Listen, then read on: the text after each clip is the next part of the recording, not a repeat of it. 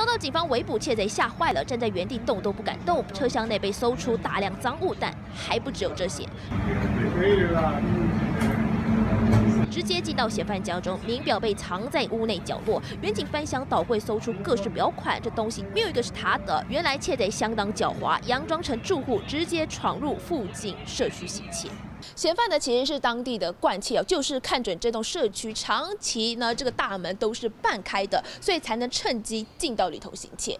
不慌不忙，从对接轻轻松松闯入社区，对当地环境非常熟悉。但看到不明人士闯入，保全连拦都没有拦，刚好给了窃贼下手的好时机，把被害人收藏的十三只名表搜刮一空。前面都是 没有关的，习惯了都没有事情。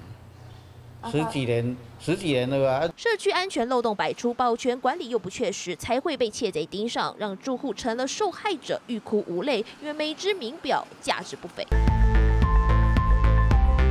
世界知名名表，每只要价超过数十万，住户因此损失惨重。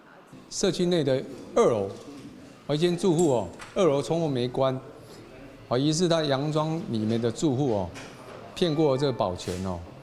那进入中庭，社区安危不受重视，才会让窃贼有机可乘。好在这次只是偷东西，如果他别有目的，住户最基本的居住安全谁来保障？今天徐志明、宋香林，新北市报道。